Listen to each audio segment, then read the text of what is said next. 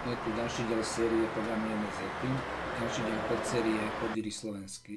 Venujem sa tu JavaScriptovému tréningu. Som v kapitole Objekty, levely číslo 4 a v časti Expert. Máme zistiť, či sú dané hodnoty v objektoch rovnaké. Nezáleží nám na tom, akým kľúčom sú tie hodnoty priradené, ani v akom poradí sú. Kľúče 1, 2, kľúče 1, 2, pravda. Kľúče 2, 1, kľúče 1, 2, keď to prehodím, mám pravdu. Tu máme kľúče 2, 2, 1, 2, to nie je rovnaké. Tu máme až 3 kľúč, až 3 hodnoty, hodnoty porovnávame. 3 hodnoty, 2 hodnoty, tak nemusíme sa ani zaujímať, čo tam je, aké konkrétne hodnoty. Jednoducho rôzne dĺžky znamenajú automaticky false. Dva prázdne objekty bereme ako rovnaké. Peter, Peter, rovnaké. Peter, Peter, rovnaké. Bez ohľadu na to, aké kľúče sú tam. Takže aké budeme mať parametre. Sú tu dve polia. Nie dve polia, dva objekty. Takže dáme objekt 1 a objekt 2. Z tých objektov si získame hodnoty. Môžeme si vytvoriť premenné hodnoty 1. To bude, použijeme ten vstávaný objekt, vlastnosť hodnoty, zaujímajú nás hodnoty v objekte 1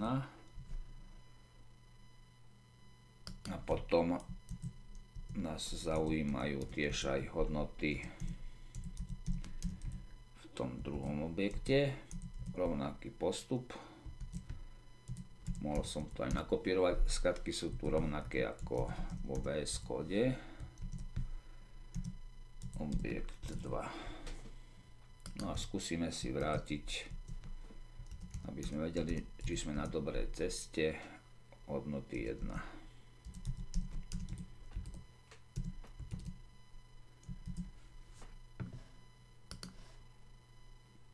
Nič som nevrátil, hodnoty. Preklep. 1, 2. 2, 1, takže funguje to tak, ale aby sme si zjednodušili to porovnávanie, tak si tie polia aj usporiadame. Použijeme metódu sort. Teraz nie som si istý, či to je sorted alebo sort. Metóda filter a asi to bude len sort.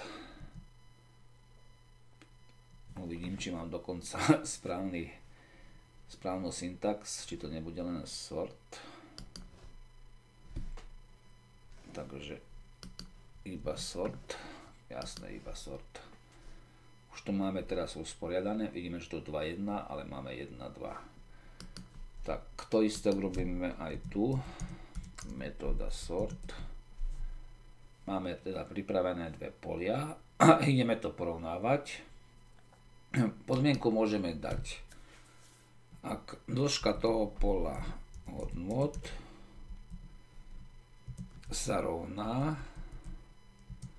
dĺžke toho druhého pola hodnot, hodnoty 2 dĺžka.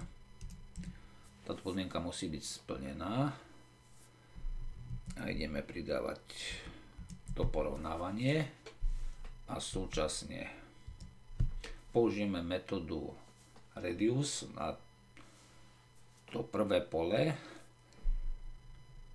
Takže hodnoty 1 metóda reduce a teraz budeme tam mať argumenty Budeme mať aj defaultnú hodnotu, pretože ten akumulátor nám bude predstavovať, že sú to rovnaké hodnoty, takže pravda,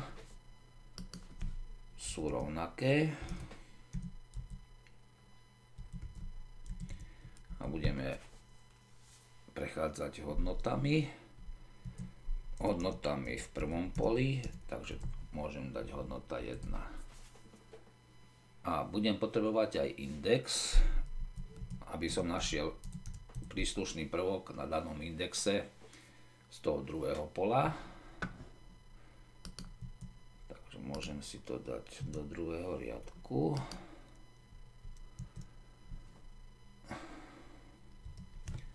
Takže idem porovnávať,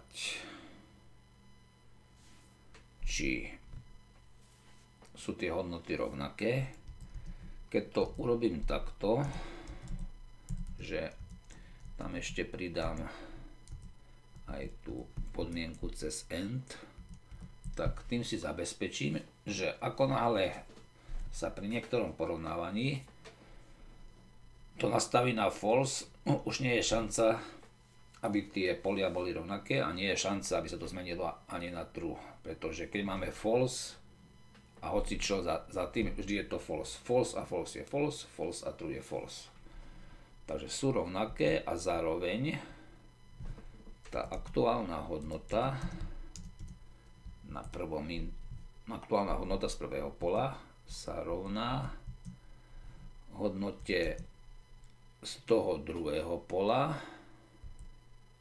na danom indexe. Dobre som to začal hodnoty druhé pole.